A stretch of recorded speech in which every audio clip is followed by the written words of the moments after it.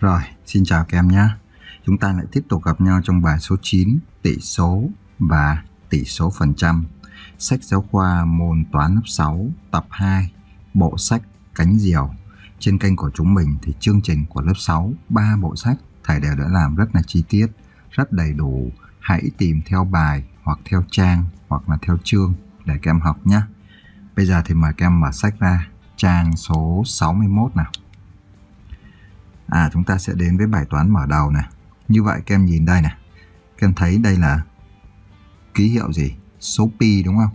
Đó, vậy thì trong những cái bài trước chúng ta cũng đã có những bài tập liên quan tới số pi. Với cái số người ta cho mặc định đó là mấy? 3,10 14 đúng không? Vậy thì đây là một trong những cái bánh bánh in của hình số gì? Số pi. Chúng ta sẽ đọc cái thông tin này. Số pi được người Babylon cổ đại phát hiện gần 4.000 năm trước và được biểu diễn bằng chữ cái Hy Lạp. Đấy. Từ thế từ giữa thế kỷ thứ bao nhiêu? 18 thì số pi này được thể hiện mối liên hệ đặc biệt giữa độ dài một đường tròn với độ dài đường kính của đường tròn đó. Đấy tức là độ dài đường tròn này kìa. Với này, cái đường kính, đường kính là đi qua gì? Đi qua tâm của đường tròn đúng không? Gấp hai lần bán kính đó. Đường kính là D này kìa, đúng không? Còn bán kính là chữ gì? R, đúng không? Vậy thì cái bạn tròn này này, bạn đặt câu hỏi này. Vậy mối liên hệ đặc biệt giữa độ dài của một đường tròn với độ dài đường kính của đường tròn đó là gì? À vậy thì để trả lời cái câu hỏi này chúng ta sẽ vào các cái phần trong bài học hôm nay nhé. Đầu tiên chúng ta sẽ đến với nội dung thứ nhất đó là tỷ số này. Vậy thì tỷ số là gì? Như vậy, ở tiểu học, chúng ta đã biết tỷ số của gì? Hai số rồi, đúng không? Vậy thì tỷ số của hai số là gì? Và hoạt động số 1 yêu cầu viết thương trong phép chia số 1000 cho số 10 rồi, so sánh chúng nè. Như vậy, các em sẽ biết nè. Thương của 1000 so với 10 tức là gì? Chúng ta sẽ lấy 1000 nè. Các em chia cho mấy? Chia cho 10 đúng không? Đó. Vậy thì 1000 chia cho 10 chúng ta cũng có thể viết dưới dạng phân số đúng không? Đấy, vậy thì thể hiện sự so sánh số gì? Bao nhiêu? 1000 với lại số gì đây? Số 10. Được chưa? Vậy thì qua cái hoạt động này chúng ta sẽ rút ra được về cái dấu hiệu này. Tỷ số của A và B với điều kiện B phải là khác không nhé. Là thương trong phép chia số A cho số B. Ký hiệu A chia B hoặc A trên trên B hay là A phần B. Được chưa? Rồi và ghi nhớ nếu tỷ số của A và B được viết dưới dạng A phần B thì ta cũng gọi A là tử số và B là mẫu, mẫu số. Tức là đây nó lại trở thành gì? Phân gì? Phân số đúng không? Thì A sẽ là tử và B sẽ là mẫu. Được chưa? Rồi, và ở đây có một cái ví dụ thì người ta chỉ yêu cầu mình đọc các cái tỷ số này. Được chưa? Đấy, vậy thì những cái phần ví dụ thường thì thầy sẽ yêu cầu các em tự đọc nhé. Thầy sẽ không hướng dẫn những cái này bởi vì sao? Chúng ta đã có nội dung giải ở trong sách giáo khoa này hết rồi. Đó, được chưa? Rồi, như vậy thì chúng ta sẽ cùng nhau thực hiện về cái bài vận dụng một hay luyện tập một. này. Tuy nhiên trước khi thực hiện cái này thì sau khi đọc xong phần ví dụ thì chúng ta chú ý này. Tỷ số của số A và số B phải được viết theo đúng thứ tự là A phần B hoặc A chia cho B. Được chưa? Như vậy thì chúng ta có hai cách viết tỷ số nha. Đó là gì? Chúng ta viết nó dưới dạng phân số hoặc chúng ta viết nó dưới dạng gì? Số bị chia, chia cho số gì? Số chia. Được chưa? Nhớ cái này nha.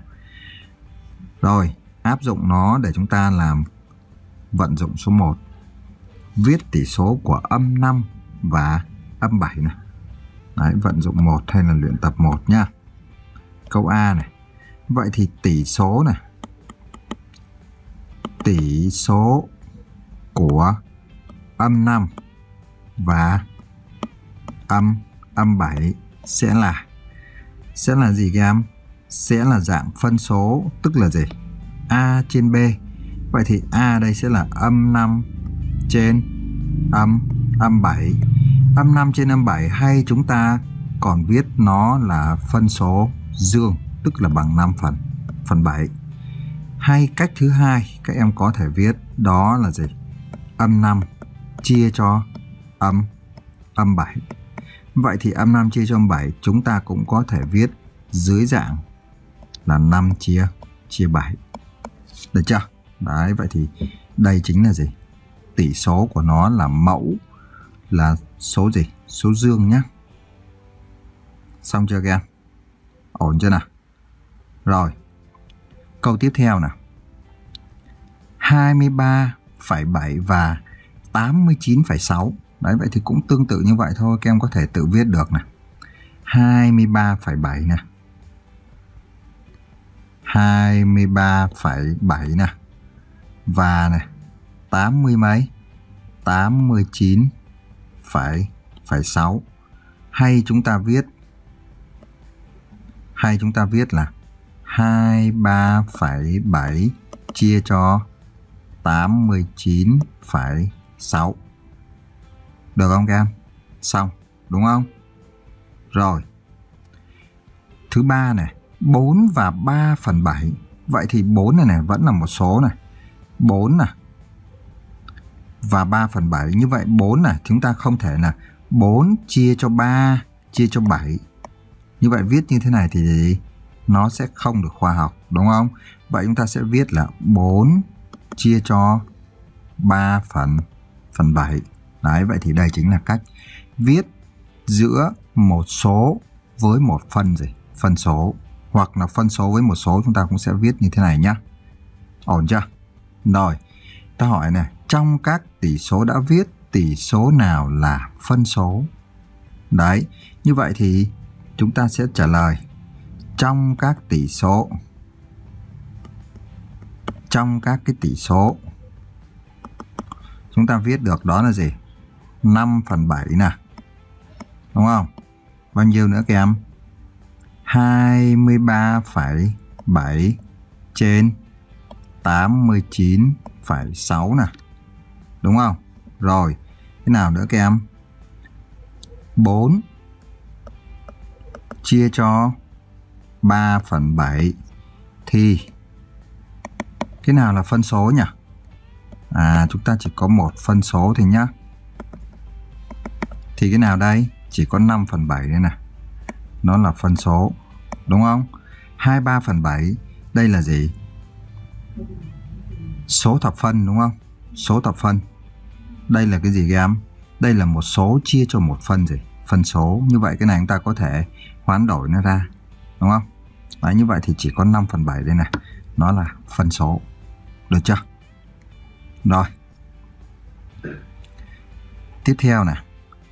Chú ý nhé.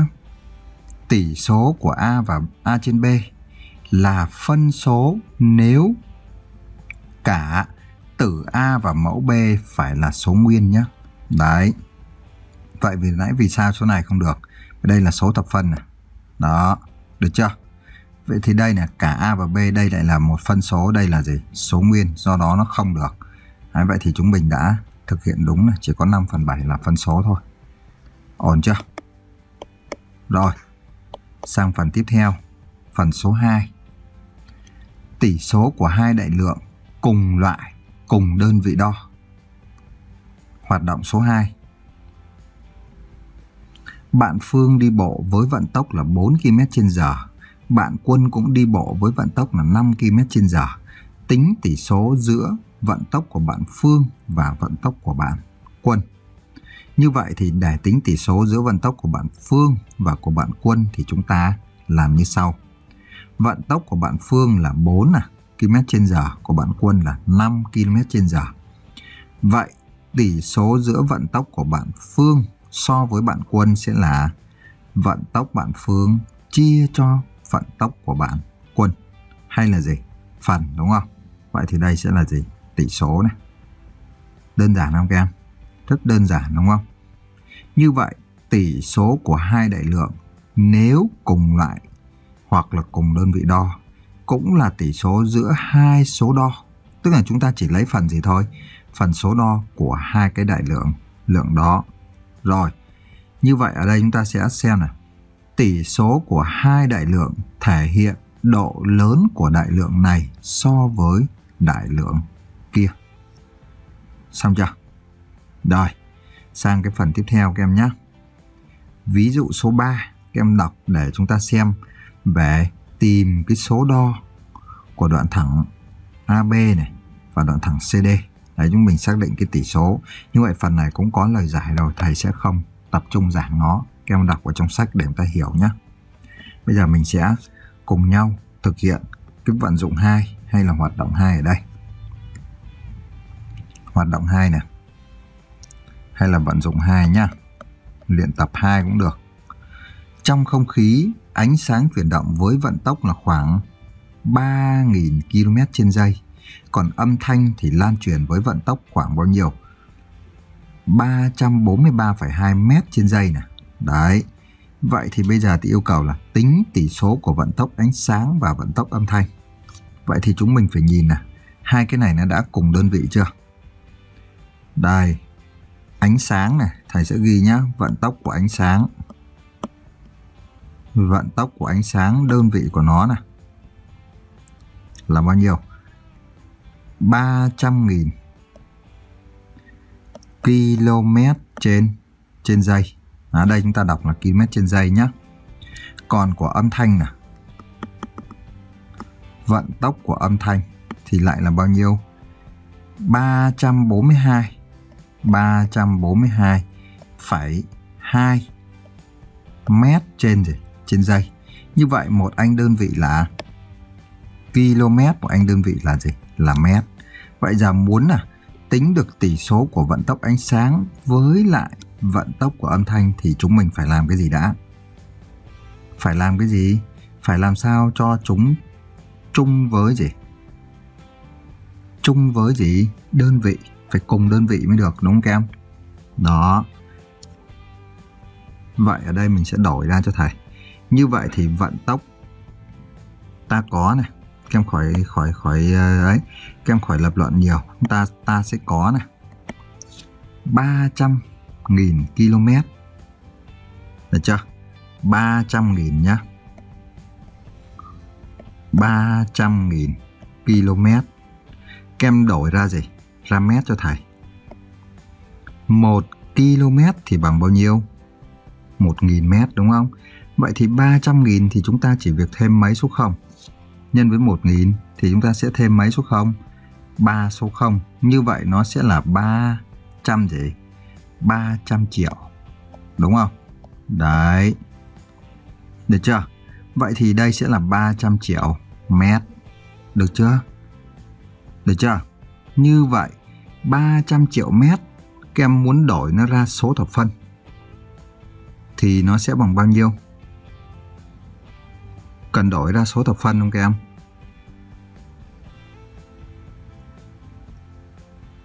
Cần đổi ra số thập phân không? Không cần đổi vì đã cùng đơn vị rồi nhá. Bây giờ mình chỉ cần tìm gì? Vậy thì tỷ số này. Vậy thì tỷ số tỷ số của vận tốc ánh sáng và vận tốc âm thanh là của vận tốc. Vận tốc gì? Ánh sáng và âm thanh sẽ là, đó, các em sẽ lấy gì? Vận tốc của ánh sáng là bao nhiêu? 3 gì đây? 300 triệu. 300 triệu. Mình chỉ lấy phần gì? Phần số thôi bởi vì sao? Cùng đơn vị rồi. Trên vận tốc của âm thanh là bao nhiêu? 343 34 3,2 Đấy vậy thì đây chính là gì? Tỷ số của vận tốc ánh sáng với lại tỷ số của vận tốc âm âm thanh. Xong chưa? Đấy, nhớ là gì? Chúng ta đang học cái phần là gì? Cùng cái gì đây nào? Cùng loại và phải cùng đơn vị gì? Đơn vị đo. Như vậy hai cái này nó không cùng loại thì chúng ta phải chuyển cho nó gì? Cùng loại nhá. Xong chưa? Rồi, mình sang phần số 2, đó là tỷ số phần trăm. tỷ số phần trăm. Tính tỷ số phần trăm của 3 và 5. Như vậy, ở tiểu học các em đã học về tỷ số phần trăm chưa? Học rồi đúng không? Tỷ số phần trăm của 3 và 5 tức là gì? Sẽ bằng 3 trên 5 nhân với bao nhiêu? Nhân với 100 và thêm dấu phần gì? Phần trăm. Đúng không? Đấy. Như vậy ở đây thì chính là 3 gì? Nếu chia nó ra này, thì nó sẽ bằng là một phân số nhân với một số sẽ bằng 300 chia cho mấy? Chia cho 5. Đúng không? Đơn vị đây vẫn là phần trăm. Như vậy 300 chia cho 5 thì bằng 6 gì? 60%. Được chưa? Đấy, vậy thì đây chính là gì? Tỷ số phần trăm của 3 và 5 mà chúng ta đã từng học ở đâu? Tiểu học rồi. Qua cái này chúng ta sẽ rút ra được và nhớ lại được cách tính tỷ số phần trăm của hai số này. Tỷ số phần trăm của A và B là A chia B hay là A phần B nhân với 100%. Để tính tỷ số phần trăm của AB, chúng ta làm như sau. Bước 1, viết tỷ số. Bước 2, tính số A này, đúng không? A nhân với 100 này, chia cho B này, được chưa? Và viết thêm dấu phần trăm vào bên phải số chúng ta vừa nhận được. Đấy, vậy thì đây chính là gì? Đây chính là tỷ số phần trăm nhé. Rồi, qua cái này, chúng em sẽ đọc thêm cho thầy ví dụ số 4. Tính tỷ số phần trăm của các số ở đây. Hiểu chưa? Rồi và qua cái này chú ý nữa.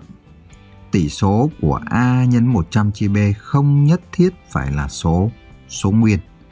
Đấy, vậy thì nó có thể là gì? Số thập phân nó có thể là gì? Phân số nhé. Và một cái ghi nhớ nữa nè. Hai cách để chúng ta tính nè. A nhân 100 chia B. Chia A cho B. Đấy, chia A cho B để tìm thương ở dạng số thập phân rồi lấy thương đó nhân với 100. Hoặc cách thứ hai này, nhân A với 100 rồi chia cho B, viết thương. Tức là chúng ta tính theo cách nào cũng được. Được chưa? Rồi, giờ áp dụng, mình sẽ thực hiện vận dụng số 3 hay gọi là luyện tập 3. Luyện tập 3. Mình ta yêu cầu tính tỷ số phần trăm của A và B với B lần lượt là các số sau. Đấy, vậy thì B lần lượt là các số này. Vậy thì A và B này sẽ là A trên trên B. Bây giờ các em sẽ thay này. Được chưa? Với nè. Đây thầy sẽ lập luận nhá.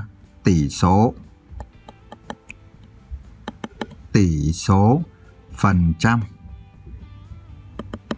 tỷ số phần trăm của A và và B sẽ là sẽ là gì đây? A phần B nhân với 100 phần phần trăm. Bây giờ nè, với nè, với mấy B lần lượt là các số thì giờ chúng ta sẽ lập luận này.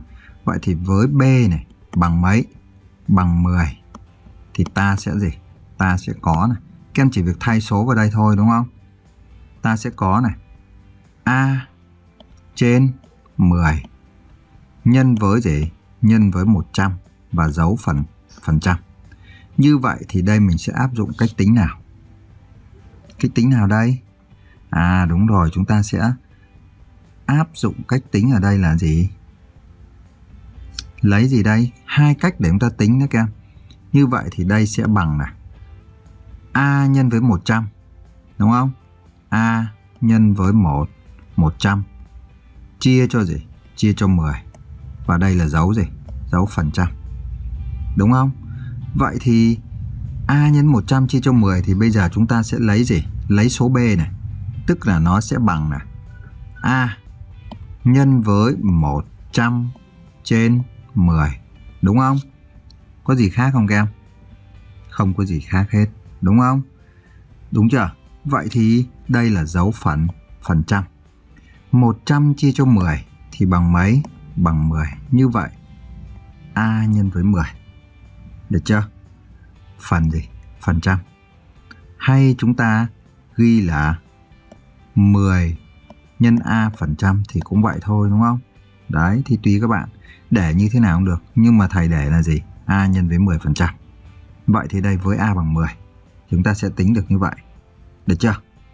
Đấy tương tự như vậy thì các em có thể thay vào với với gì? Với B bằng 100, B bằng 1000. Như vậy với B này.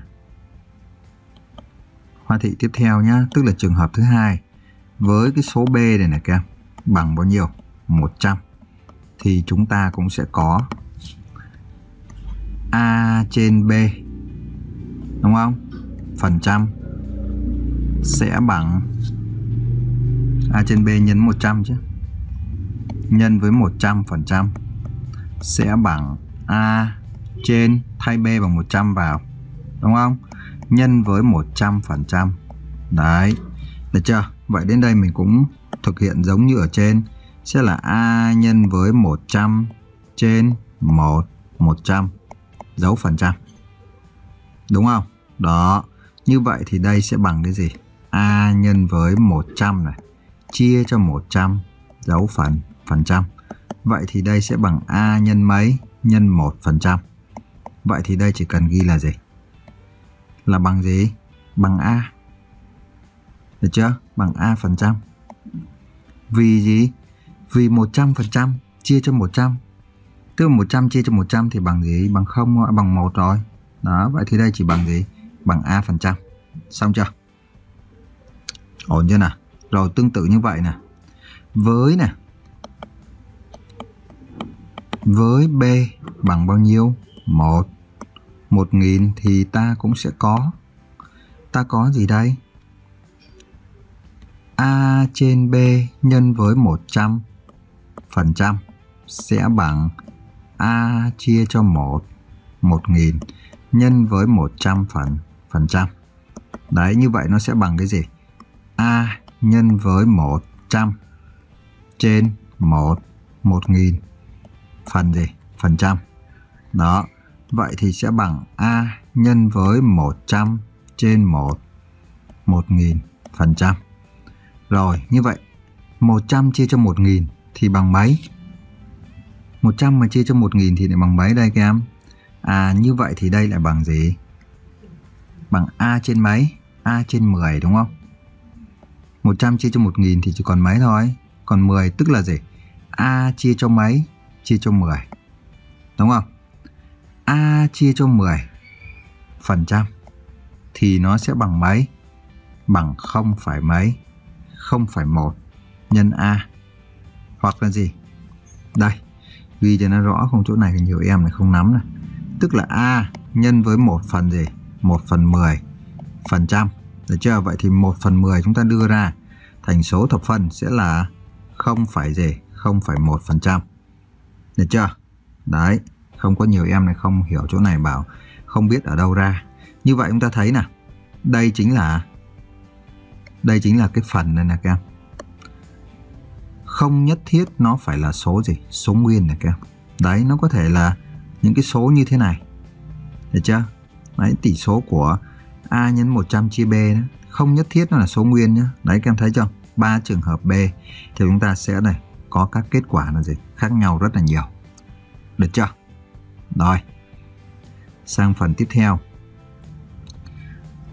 Khi mà tỷ số A nhân 100 chia B không là số nguyên thì chúng ta thường viết tỷ số đó ở dạng số tập phân có chữ hữu hạn, có có gì chữ số sau dấu phẩy hoặc sấp xỉ, đấy tức là làm tròn đó, hoặc là sấp xỉ nhá. Rồi và cách viết về số thập phân như vậy sẽ thuận tiện hơn trong thực tế. Đấy chẳng hạn là chúng ta không viết là 12 chia 5 phần trăm mà chúng ta sẽ viết bằng 2,4%, tức là 12. 12 chia cho 5 thì nó ba ra số thập phân là khoảng bao nhiêu? 2,4. Đó. Được chưa? Rồi, tương tự như vậy thì các em có thể tự đọc cho thầy ví dụ số 5 để nắm rõ hơn. Ổn không? Được không các em? Rồi. Bây giờ mình sẽ đọc cái lưu ý này tiếp nhé khi tính tỷ số phần trăm của A và B mà phải làm tròn số thập phân thì ta làm theo cách thứ hai đã nêu ở trên, tức là nhân A với 100 rồi chia cho B và làm tròn số thập phân nhận gì? Nhận được. Được chưa? Rồi để hiểu hơn thì chúng ta có thể đọc cái ví dụ bên và cùng giải quyết cái vận dụng hay là luyện tập 4 đây. Này trong cái luyện tập 4 này chắc chắn là gì người ta sẽ đề cập tới cái bộ nội dung đó. Luyện tập 4 nhé. Tính tỷ số phần trăm làm tròn đến hàng phần 10 của 12 và 35. Đấy, tức là yêu cầu làm tròn đến gì? Đến hàng phần 10. Vậy thì ta có này, tỷ số phần trăm của của cái gì? 12 và 3 35 sẽ là Đấy, tức là chúng ta sẽ làm bao nhiêu? 12 phần 35 nhân với bao nhiêu? Nhân với 100%. Đúng không? Đấy, vậy thì các em thực hiện phép tính này chúng ta sẽ được là bao nhiêu? 12 nhân 100. Đúng không? Chia cho 35. Như vậy ở đây sẽ được bao nhiêu? Dấu phần trăm sẽ bằng 12 tức là 1.200 gì? À 12.000 chứ, 12 nhân 100. 12 nhân 100 thì sẽ là 1.200. Đúng không? Đó. 1200 chia cho 30 35 và thêm dấu gì? Dấu phần trăm. Như vậy ở đây thì yêu cầu mình làm tròn đến cái gì? Làm tròn đến hàng phần 10. Đấy, hàng phần 10 nhé các em. Đấy thì chúng ta sẽ thực hiện cái phép tính chia này cho thầy. Xem nó ra bao nhiêu. Ta sẽ lấy là 10, 12, 1200 chứ. Chia cho 35. Các em bấm máy đi cho nhanh.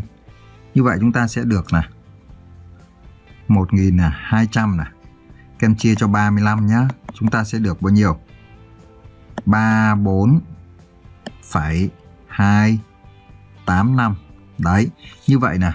2857 còn dài lắm, rất là nhiều. Đây là số thập phân gì? Hữu hạn, đúng không? Như vậy thì ở đây chúng ta sẽ làm tròn đến hàng phần 10, tức là hàng này đúng không? Đúng chưa? Đấy, vậy thì sau cái số 2 đây này là số 8, 8 này lớn hơn 5. Vậy thì số này chúng ta sẽ là gì? Cộng thêm 1. Nó sẽ là 34 phải mấy?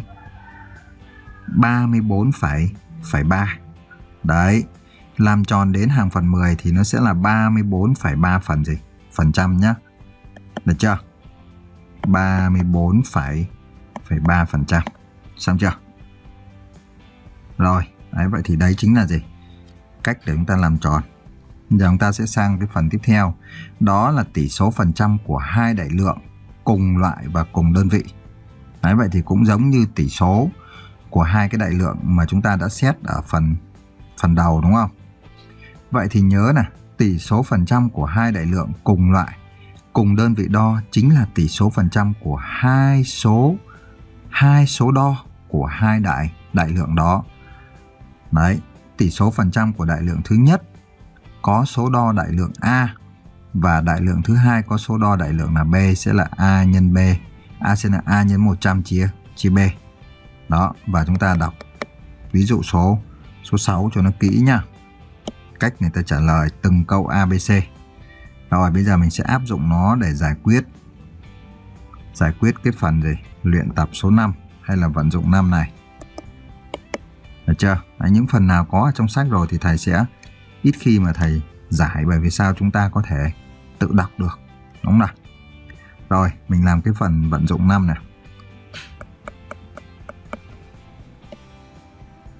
Theo một cái trang báo Việt Nam Net đó, Việt Nam gì đó đúng không? Thì dân số của Việt Nam tính đến 0 giờ ngày 1 tháng 4, tức ngày 1 tháng 4 ngày điều tra dân số 2019 là 96 tỷ. 96 tỷ hay 96 triệu các em? 96 triệu thôi đúng không? 96 triệu 208 nghìn 984 người. Trong đó có 47 triệu 881 nghìn 061 nam và đây là nữ. Hãy tính tỷ số phần trăm của dân số nữ so với dân số cả nước làm tròn đến hàng phần gì? Phần trăm. Như vậy họ chỉ yêu cầu mình gì? Tính dân số của nữ so với gì? so với cả nước. Vậy thì nữ đây? Cả nước đâu? Cả nước đây. Đấy. Vậy thì chúng ta chỉ việc trả lời là gì? Tỷ số phần trăm. Tỷ số phần phần trăm của gì? Của dân số nữ dân số nữ này, so với dân số cả nước. Đúng không? So với dân số cả cả nước sẽ sẽ là. Đấy, vậy thì đây chính là gì? Nhớ là nữ so với cả nước, vậy thì sẽ là nữ nè. Bao nhiêu? Tất cả đây đơn vị đều là gì? Người, đúng không? Đấy, đây là người nam, người nữ, đúng không? Chính là số nữ nè nữ là bao nhiêu? Nữ là 48 triệu 327 đúng không? Nghìn 923 trên, số nam là bao nhiêu? Số nam ở đây là 96 triệu. À xin lỗi cả nước chứ. 208 nghìn 1984 Đấy, như vậy mình áp dụng cái công thức này này các em. Công thức này này. A nhân với 100 chia cho B. Đấy, vậy thì giờ số nữ này này, Mình sẽ nhân với bao nhiêu? Nhân với 100 Chia cho B và đây là dấu gì? Phần trăm này. Đúng không? Đó, vậy thì giờ các em chỉ việc Bấm máy theo thầy thôi, Bởi vì những cái số này của chúng ta là gì? Nó tương đối là lớn. Như vậy thì khi thực hiện cái này, chúng ta sẽ được kết quả bao nhiêu? 50,23%. Được chưa? Đây chúng ta có làm tròn đến hàng là gì? Hàng phần trăm tức làm tròn đến hàng số 3 này nhé. Được chưa? Rồi, vậy thì đây chính là nội dung lý thuyết của cái bài này và các em nhớ là xem trước cho thầy phần bài tập để chúng ta cùng thực hiện nó trong cái tiết tiếp theo nhé. Đừng quên là chia sẻ kênh cũng như video của chúng mình cho các bạn đang học ở chung lớp, chung trường, ngồi chung bàn, chung ghế, chung lớp với mình nha. Rồi.